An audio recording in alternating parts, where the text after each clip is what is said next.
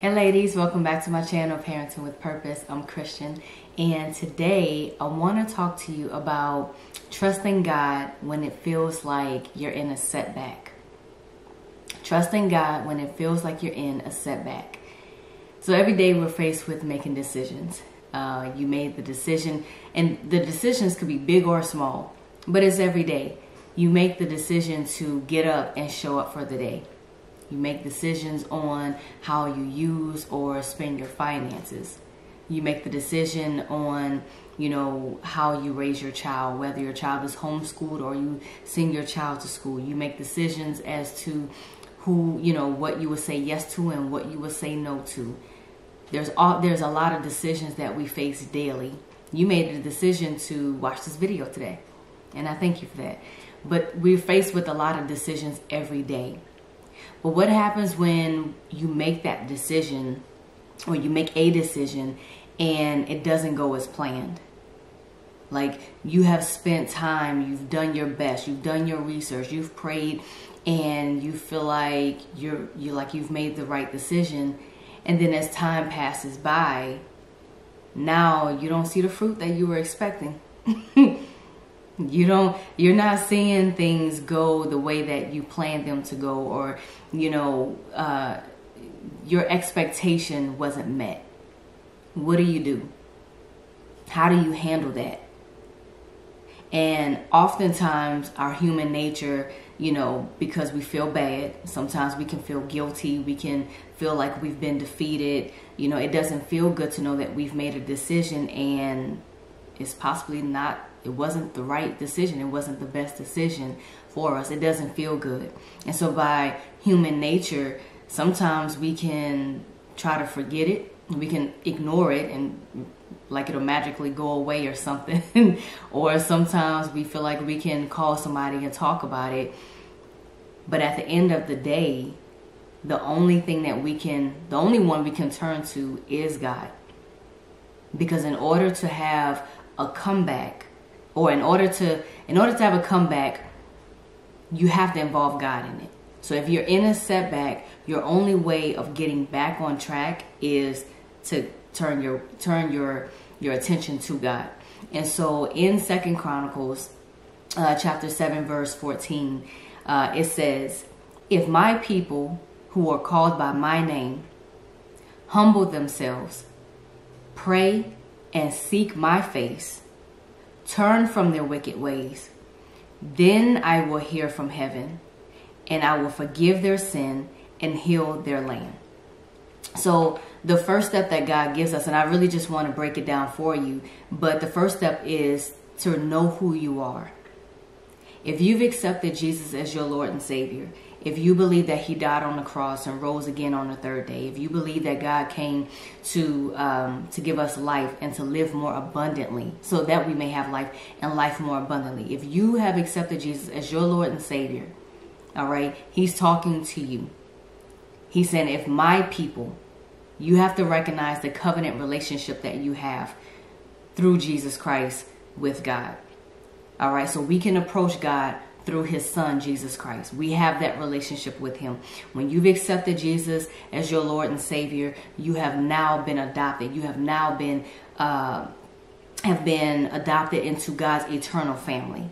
All right, so he's talking to you. If my people who are called by my name, that's what he's saying. All right, so remember, you are a child of the Most High God. All right, so the second thing, the second step is he's saying, if they will humble themselves. In other words, check your heart. I did a video a couple weeks ago um, about what's in your heart. All right, so check your heart. What's your attitude? Do you realize, are you going to stay prideful or are you going to stay arrogant and just try to continue life and pretend like it never happened you know try to ignore the fact that the decision wasn't it didn't work out in the way that you expected to. Are you going to stay arrogant? Are you going to stay prideful and try to figure things out on your own? Or are you going to say you know what god i messed up. I messed up and i need you right now. Understanding that you are fully dependent on god. Understanding that without christ you can't do anything Philippians 4:13 it says, uh, "I can do all things through Christ who strengthens me. And then in John 15, 5, I think it's in John 15, 5, where it says, uh, Jesus says, I am the vine, you are the branches. Okay? He says, I am the vine, you are the branches. If you remain in me and I in you, you will bear much fruit. But apart from me, you can do nothing. Nothing, honey. apart from God, you can do nothing. Okay? So remember, check your attitude, check your heart.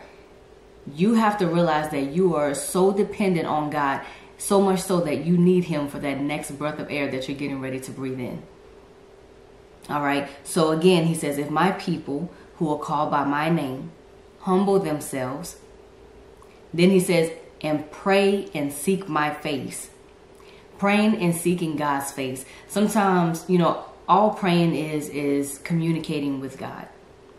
All right, and so um, sometimes I remember there were there was a time where I really didn't know what to pray. I knew I knew how to pray, but I wanted to take it up another level. And there were times I just didn't know what to say. You know, I knew it was more in me. I could feel it, but I didn't know what to say. I didn't know the words to say.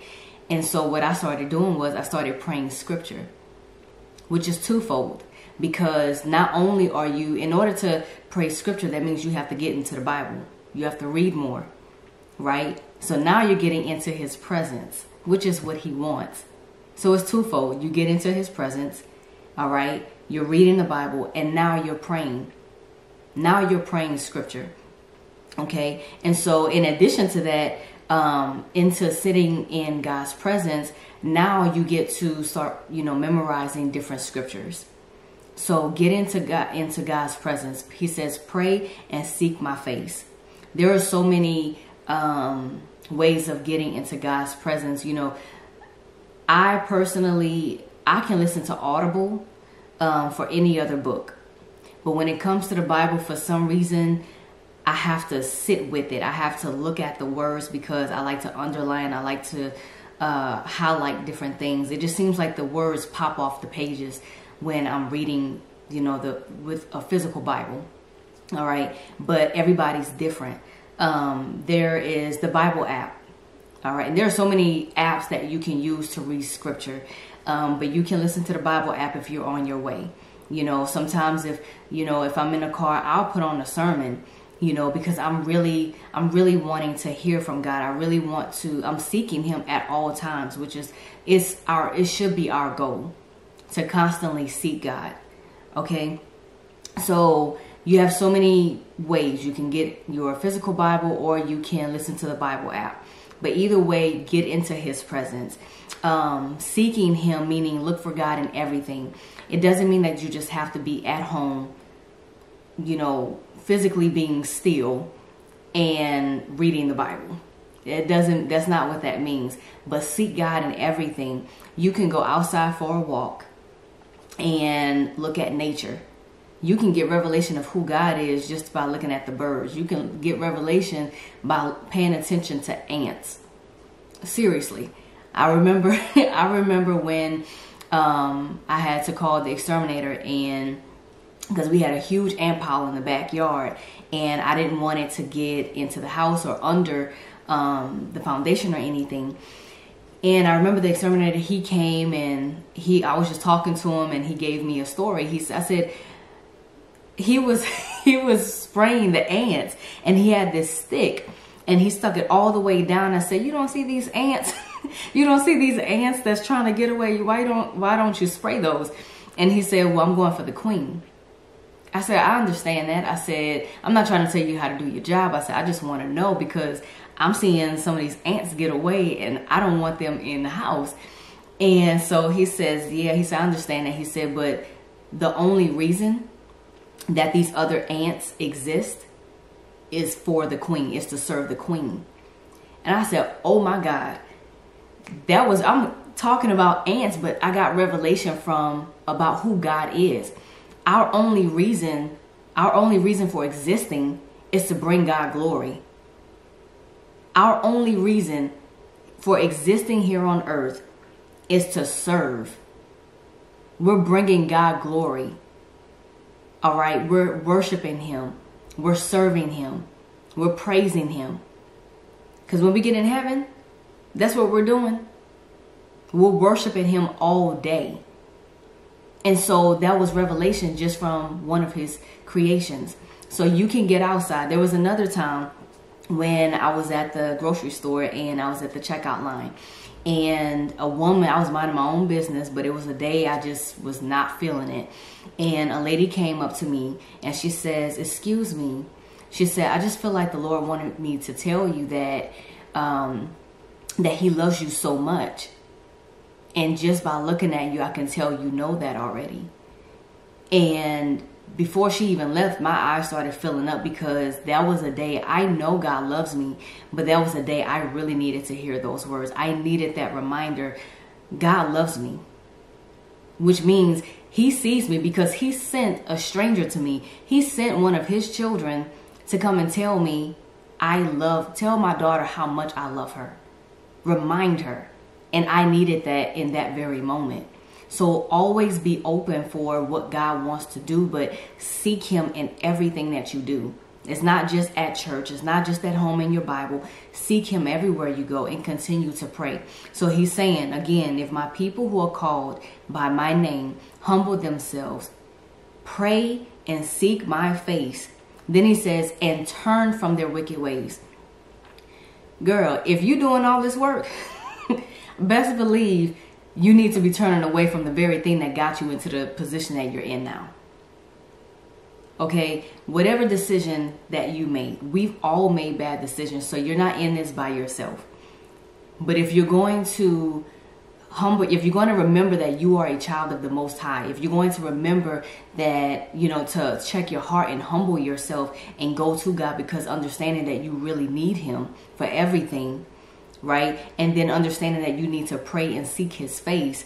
Yes, turn from your wicked ways. In other way, in other words, he's saying, don't go back to the thing that got you here. Don't repeat the same steps that got you to where you are from this bad decision. So maybe you moved in with a guy and y'all are not married. So in other words, y'all are shacking up. Right? And now you're in this place where you feel like, okay, God, this is not what I want and I feel like you're, you know, tugging on me like this is just not what I want. This is not the decision. This is not the the results that I was expecting and I've learned my lesson. You know, I'm ready for a comeback. So help me. Get me back on track. Right? Let's say you mismanage your finances. Right? Uh, and you've made and because of that you've made a bad decision. So now you're facing some things and it's just not it's not good. It's like a domino effect right? He's saying turn from your wicked ways. So how do you turn from your wicked ways if you're mismanaging your finances? That means you get a budget. You create the budget you stick to the budget. It's one thing to create a budget stick to the budget. So you're not going back to the same things. You're not you know uh, behaving in the same way. You're not mismanaging your finances the same way. Let's say you then you lost self-control and by you losing self-control not uh, you mishandled yourself right? And it got you fired from your job. God is saying turn from your your wicked ways. Don't when i bless you with this next job don't go up in there acting the same way. You can't go around you know if you have a customer service job and you get upset and you put you think you put the phone on mute and let's say you didn't and here you are cussing people out you're if you're repeating the same steps that you did from the last job that you got fired from then he in other words he's saying turn from your wicked ways. Don't repeat the same thing that got you to where you are right now. All right? We've all made again we've all made bad decisions but just to put it in practical ways, he's saying turn from their wicked ways. Then he goes and he says, then. The word then is a transitional word. It means that there are some prerequisites that need to take place before the next. What happens after the word then? After that, that's what that is what can happen based on you meeting the requirements of what took place before the then. So in order, that sounds confusing. Hopefully not, but in order for then to take place, in order for what comes after then, you have to meet the requirements that come before then. Okay, so then is a transitional word. So for you to, you know, for you to get to what he's saying then, make sure you remember that you're a child of the Most High. Remember to check your heart and stay humble. Remember to pray and seek your face. Remember to turn from your evil ways. All right. He says, Then I will hear from heaven. Pause. For God to say, Then I will hear from heaven. That means that as long as you're staying in your evil ways, as long as you're not praying and seeking his face, you know, to help you, and realizing that uh, that you depend on God, that you really need God, so you're staying humble and doing wrong, your prayers are not even being heard. And I don't know about you, but I don't talk to God. I don't pray just for my health. I pray so that He can move on my behalf, move on my family's behalf, move on friends' behalf. Right? So He's saying, then I will hear from heaven. All right? and will forgive their sin. You want God to forgive your sin so you can move forward. and then he says, and then I will heal their land, meaning God will put you back on track. He will put you back in right standing with him. Then you'll be able to see God move again. So the whole point is trust that God will, trust that God has your back. All right, after you have done all of these steps, now you sit back and you trust God. Proverbs 3 5 through 6, it says, Trust in God, trust in the Lord. And then he says, Lean not unto your own understanding. In all your ways, acknowledge him, and he will direct your path. Some versions say, Submit to him, and he will make your path straight. That's what you're doing from Second Chronicles chapter 7, verse 14. You're submitting to him you're acknowledging Him in all your ways so that He can make your path straight. All right. We can do nothing without God. Everything we need, everything that we are, everything that is to come, we need God. So whatever your whatever decision that you've made, go to God and seek forgiveness. Humble yourself. Remember, I'm a child of the Most High God. I don't have to stay here. I don't have to stay here. I don't have to stay here in this mess that I've created for myself. God's grace is sufficient. That's why we can boast in his in his strength because when we're weak, he's strong. His grace is sufficient for the decision that you made. So, I hope that's I hope that helps. Um, that's all I have for you today. But just remember that God is for you and not against you. He wants to help you and he's giving you specific instructions how to create space for him to send you from a, a setback to a comeback, a setback to a comeback. All right. And so again, I hope this, uh, this helps. If you know someone who can use this message, go ahead and send it to them. But um, go ahead and like, subscribe, all that good stuff. And I will see you in the next video. Bye.